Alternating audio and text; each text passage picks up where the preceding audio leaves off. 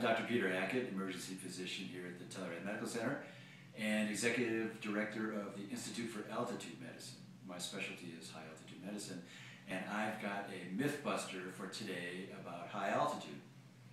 Myth using caffeine at high altitude is bad for you. Fact caffeine is good.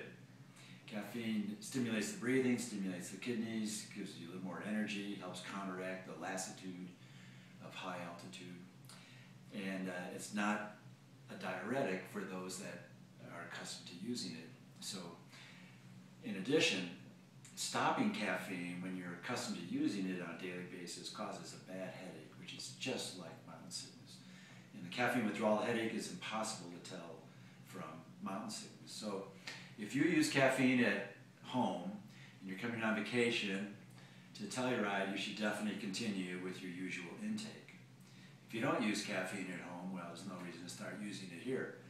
But the myth is that you should stop caffeine when you come to high altitude. The fact is, don't stop it. You'll get a bad headache, and overall, if anything, it helps.